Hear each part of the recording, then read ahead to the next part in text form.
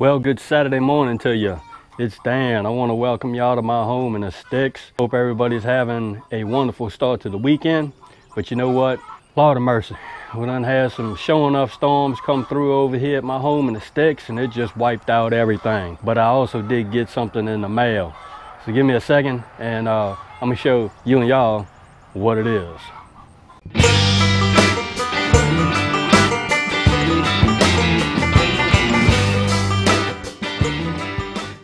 Right, y'all, let me show you. I apologize for the light. I'm in my shop. It's not really sunny outside. It's like really cloudy. Look like it won't rain again.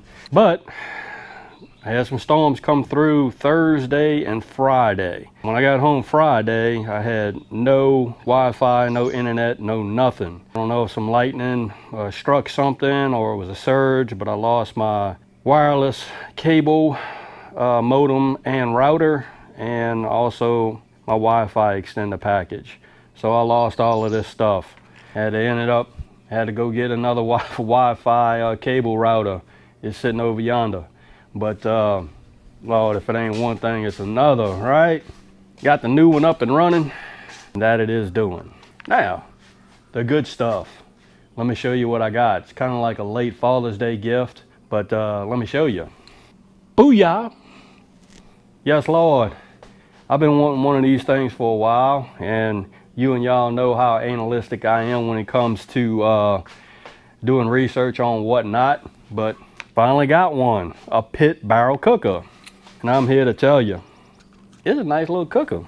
Now what I'm going to tell you is I follow a couple of channels, two specifically, uh, the Four Hearts Ranch and T-Roy Cooks. The Four Hearts Ranch cooks uh, exclusively on a pit barrel cooker and I, I know them personally and I've been going back and forth with TW and Melissa on it. After about a couple of months, couple three months of research, uh, I just went ahead and got one. Uh, again, it was a late Father's Day gift. I didn't do an unboxing video on any on this pit barrel cooker or anything like that because I mean, there's a whole bunch of them on YouTube.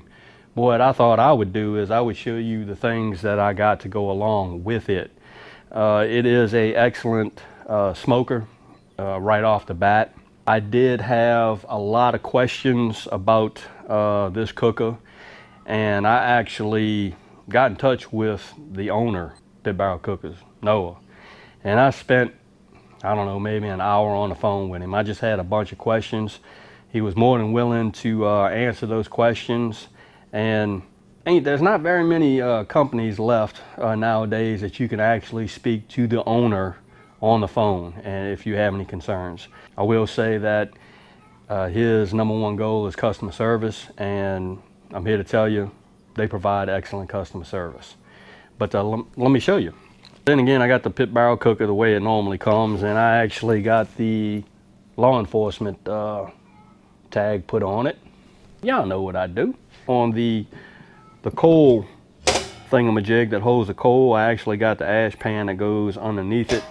So it makes it a whole lot easier to actually clean uh, the pit barrel out. Ended up purchasing this, purchasing this thing. This is a half chimney because I actually have a uh, full Weber chimney and it's just too hard to actually get this guy inside this thing to pour the coals, the heated coals onto the charcoal that goes in there.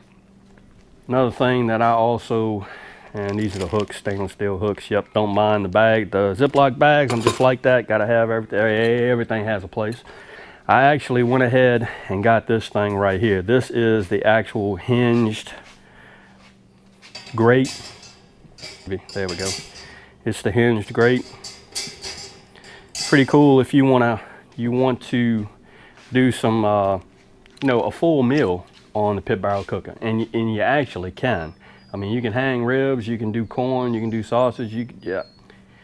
I'm gonna use this thing and I'm, I'm just gonna show enough do a couple uh, whole meals on a, on a pit barrel cooker. And that, that's coming, that's in the workings.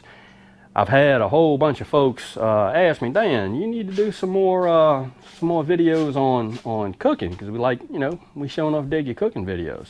So I figured, heck, what what uh, what better way to do it than on that thing right there. How we're gonna do. The two last things is I actually got the uh, the pit mitts. Don't make any sense going to Walmart and buying one mitt for nine dollars because they I, that is beyond me. How do you sell pit gloves individually? But anyways, and the last thing is this guy right here, which is the actual turkey hanger. You can do turkeys and chickens as well on this uh, using this the hanger. So what I'm tickled pink y'all and I sure enough got a inkling suspicion that I'm gonna I'm gonna sure enough cook something on this thing today.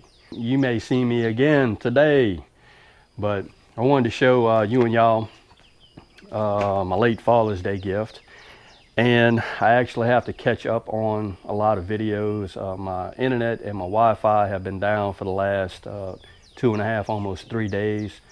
But I have that squared away. Just want to let you and y'all know what was going on over here at the home in the sticks. It's been a couple of days since I put a video up. Now you know why. I was down for the count. If you like the video, go on and give it a thumbs up. They help. If you haven't subscribed to the Home in the Sticks channel, y'all sure enough need to come on over here, give me a look because I'm always doing stuff, really. And with that being said, you know it's coming. Dan, sure enough, gonna say it. Don't let nobody dull your shine. I mean, nobody. You get your shine on. I'm finna shine and put something on that pit barrel cooker. And yeah, we're gonna get our eat on. And we will see you and y'all in the next video.